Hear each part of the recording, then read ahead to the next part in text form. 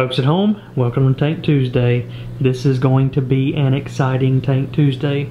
If you watched last week, we are putting in a 3D aqua decor background in this tank. We got everything set up and ready. This is going to be an intensive project. First of all, these three are coming out of the tank. Next, we're going to drain it completely, pull that substrate off the back of the wall, and then it will take 24 hours. We're going to put in our new 3D background. We're going to have to use silicone, let it cure for 24 hours, and then put the fish back in the tank. So we got a lot to do in this video. In case you're new to the channel, this is our big bluegill named Sheriff and our two pet bass, Clyde and Bonnie. Bonnie and Clyde. Alright, and then 10 gallon minnow tank down here, we got Heisenberg. He's hiding out in his house. He comes out during the daytime. I'm going to have to start filming more in the daytime because he comes out chasing those minnows around and then he hides at night. And then we got our 55 gallon aquarium with Moby. Don't worry Moby, we're not gonna leave you high and dry. I know we're fixing up the 300 gallon aquarium, so I got a couple tricks up my sleeve for your 55 gallon aquarium here. But like always, we like to start off our videos feeding Moby a minnow. And he's long and lean these days. Look how big his tail is. He's a little skinny in the midsection. So last episode we fed him two, and I think we're gonna feed him two minnows again. All right, Moby, got two big ones for you this time. I don't know if you're going to be able to eat them all, but you should be full for quite a while. Dropping them both in at the same time. Got one. He's thinking about the other one. Oh gosh. Look at that. Got some grass in there with it. Moby will eat everything. Oh, he got away and he got him again. So Moby has two minnows in his mouth. Alright, while Moby finishes up eating, you can tell in this tank it's starting to look a little bit dusty. We cut our lighting schedule back and we killed off our Java moss. That was a mistake. We were trying to get rid of some of the algae and in a planted aquarium you need the lights to be on a lot and we cut them back to about three hours a day and our plants really took a hit. I think we're going to remove some of these rocks. We're going to put some new plants in and hopefully eventually get some more Java moss growing back in the tank. Alright, we got Sarah and Liz helping out with our aquascaping. She's doing a good job. We're putting some new plants in here. We got three new species. Liz, what is that one called? Micromeria brownii. Brownie, I like it. Two pieces of driftwood and three plants here. I'm about to go in. Moby's going to get an upgrade. And she is the helper. Sweet girl. and here is the after. Not a major upgrade, but we added some new plants. You see there, new plant there, Moby jumping right in the center. And then we added some driftwood. We attached some plants to those. Also to that piece of driftwood. And one more plant back there in the back. So not a major tank upgrade like what's going down in the 300 gallon, but Moby's got him some fresh vegetation in here. Just ate two minnows. He and the catfish should be happy. Moby's got a full belly now. Check that out. He ate good tonight. And now that we just put some fresh plants in, one little tip, add some plant food. We like to use that Fluval plant food. It works pretty good. Alright, so since we're about to put a lot of stress on these fish, moving them out of the tank, put them in a new home for 24 hours, we have to feed them pretty good. Don't you agree, Sheriff? He agrees. Alright, we're going to dump some minnows in, let them eat good. I'm terrible at this. This is Liz's job. That's what she normally does, and for some reason... there we go.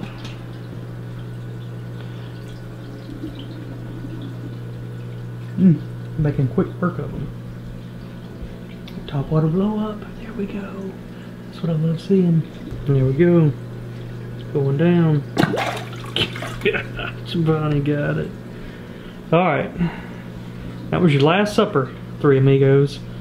When you get back in this tank, you have a brand new setup.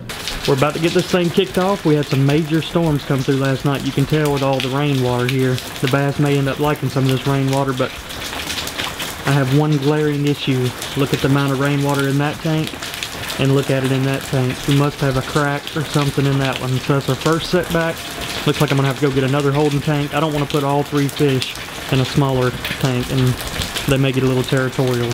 All right, it is time to get this thing started. Let's take a look at our temporary bass tank setup. I've got two separate tanks. We're gonna put Bonnie in this one, Clyde and Sheriff in this one. I've got two 26 gallon filters here, mainly just to keep the water flowing and provide them some oxygen while they're in there overnight. This is connected on the other end to our 300 gallon tank. We're gonna fill both of these tubs up with tank water. That's the water they're used to. All right, this is the last time we'll be seeing this tank like this. I hate to see the bonsai tree and everything go, but we got better things coming. And there we go. We have water flow. This one our cat buster gets a little crazy. All right, we got Liz in here helping out. You guys haven't seen her in a while. Mm-hmm. And check out this thing she's looking at. So that's the baby in there sleeping. Can't see it that great, but she's being good right now. Letting mama and daddy take care of these fish. All right, we got the water level to where I wanted in both tanks. You can see that they started bowing a little bit, so I didn't want to fill it up much more and have it collapse on me. So we're about to get the filters running to go ahead and start pumping through some of this water. All right, we just got the hood and all the lights off and whew, that thing was heavy.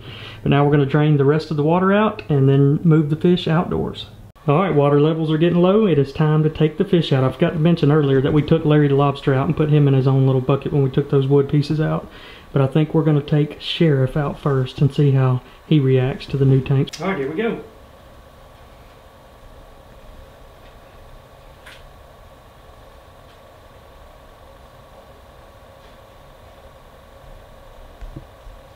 It's easy, got him.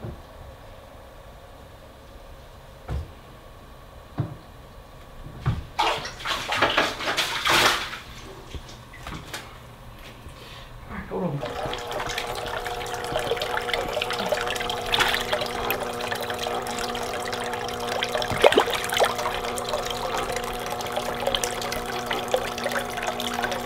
Ain't that bad, is it, Sheriff? You actually get a little bit of sunlight out here. Sun finally came out. Just gonna try to jump it. Alright, who's next? Looks like Clyde.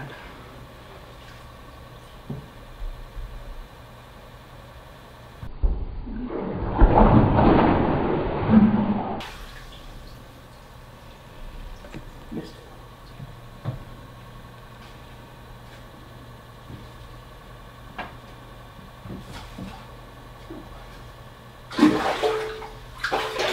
We got Clyde.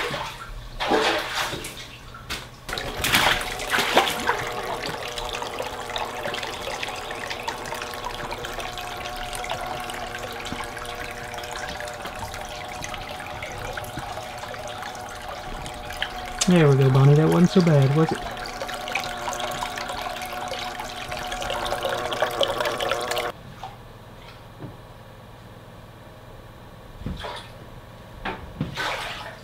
She in? Mm-hmm.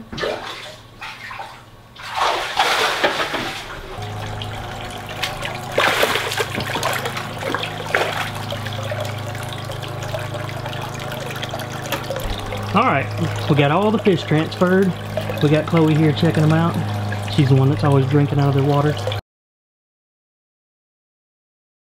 Seems like that tank's just big enough for those two. And Bonnie seems to be doing the best out of all of them. She's not really panicking. I got a little camera set up right here. We'll keep an eye on them and watch them to see as this weather changes. When that sun starts setting, it's possible they're going to get a little sunlight. It's been a long time since they've had real sunlight. Alright, this is about to be one of my favorite parts. While we got them in one of these little holding tanks, I want to do a couple of tests. One of the tests is going to be to drop some minnows in there with them and see if they eat them. I have a feeling that Sheriff may eat them regardless of the situation.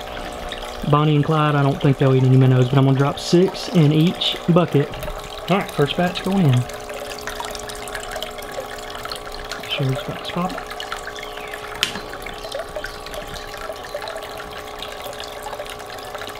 Yep. He's definitely looking at them. Don't think they really want to eat them. Alright, now it's time to drop Bonnie some in.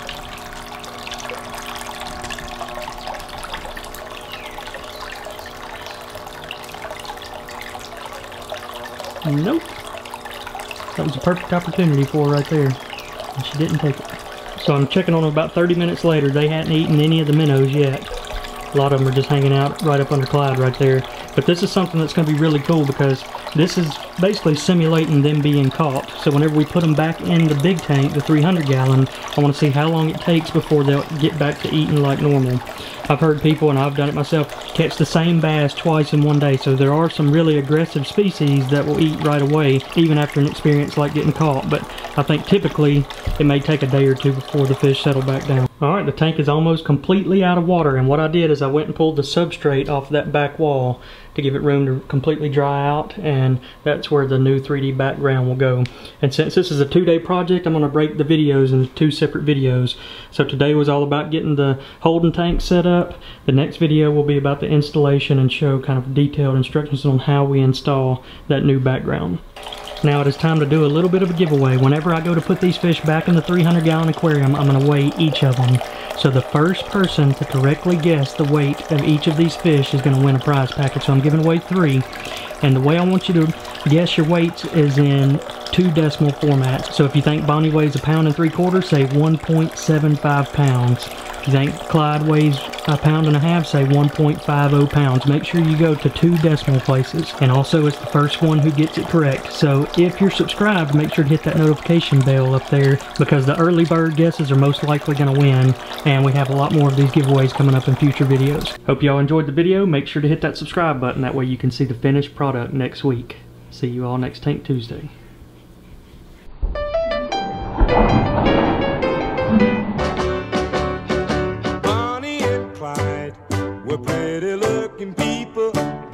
Can tell you people they were the devil's children.